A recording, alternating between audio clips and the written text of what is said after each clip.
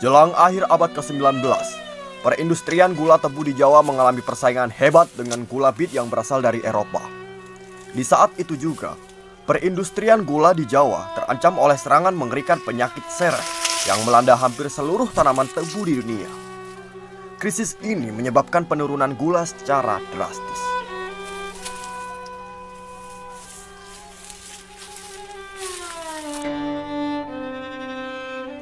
Di sinilah awal mula pemerintah Hindia Belanda mendirikan lembaga riset gula. Lembaga pertama didirikan di Semarang dengan nama Proftesian Bidden Java.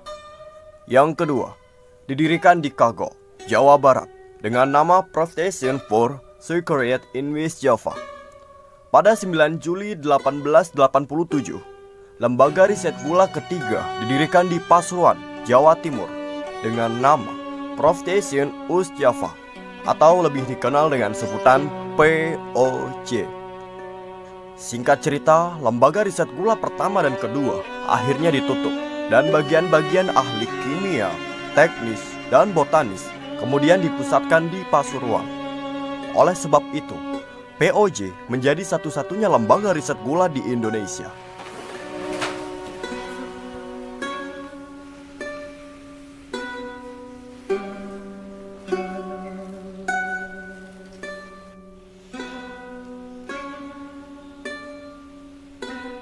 Dr. J. K. Kramers adalah direktur pertama POC dan J. D. Kobus selaku deputi direktur.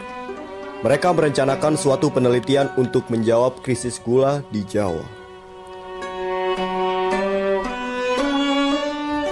Berbagai usaha telah dilakukan untuk mengembalikan kejayaan gula tebu, baik dengan pendirian balai penelitian maupun usaha pemuliaan tanaman tebu.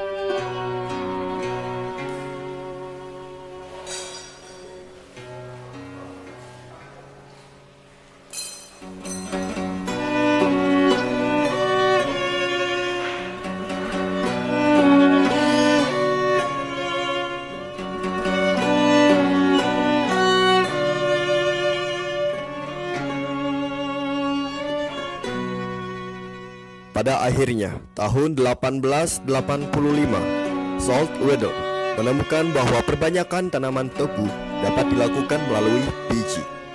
Sejak saat itulah kemajuan pemuliaan tebu terjadi, termasuk upaya merakit varietas-varietas unggul.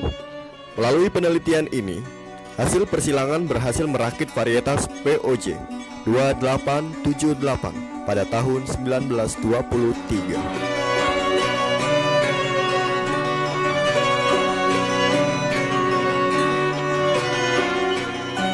Dengan ditemukannya varietas ini, POJ Pasuruan secara fenomenal menjawab krisis yang melanda industri gula di Jawa dan dunia karena berhasil menemukan varietas yang tak hanya kebal terhadap penyakit sereh, namun juga memiliki produktivitas yang jauh lebih tinggi.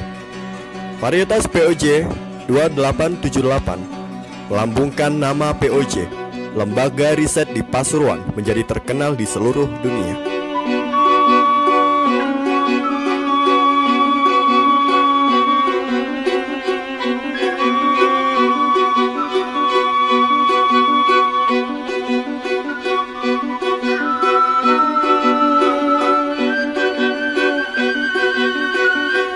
Periode tahun 1942 sampai dengan 1945. POJ dikuasai oleh pemerintah Jepang dengan Dr. Hyokyo Okade selaku direktur. Pada 17 Oktober 1945, Komite Nasional Indonesia mengambil alih POJ dari pemerintah Jepang. Pada 21 Juli 1947, di tengah aksi agresi militer Belanda II, POJ terbakar dan rusak berat. POJ pun kembali dikuasai oleh Belanda. Sepuluh tahun setelahnya, Insinyur G. A. W. Wegener, direktur terakhir POJ dari Belanda, menyerahkan POJ kepada pemerintah Republik Indonesia. Dalam perjalanannya, POJ beberapa kali berganti nama. Setelah diserah terimakan oleh pihak Belanda kepada pemerintah Republik Indonesia, Namanya berganti menjadi Balai Penyelidikan Perusahaan Perkebunan Gula. Pada akhirnya, tanggal 11 Mei 1987 berganti nama lagi menjadi Pusat Penelitian Perkebunan Gula atau yang sekarang kita kenal dengan sebutan P3GI. Ah, jadi ceritanya itu begitu, Cah. Oh, jadi begitu. Oh, oh, oh. kamu belum pernah kan ke sana? Belum, Mbah. Oh, kamu harus ke sana kamu, orang Pasuruan kok.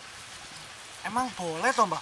Kan sekarang lagi musim pandemi. Oh, siapa yang nggak ngebolehin? Eh, tapi ada syaratnya. Kamu harus memenuhi sesuai protokol COVID. Ah, yang pertama, kamu harus pakai masker. Masker, pakai masker, Mbah. Oh, yang kedua kamu harus pakai hand sanitizer. Sanitizer, Mbah, sanitizer. Oh, Oh, oh, oh. Ah, kalau kamu nggak punya hand Hand sanitizer, sanitizer, Mbah. oh, oh, kamu boleh ke sana nggak bawa itulah pokoknya ya.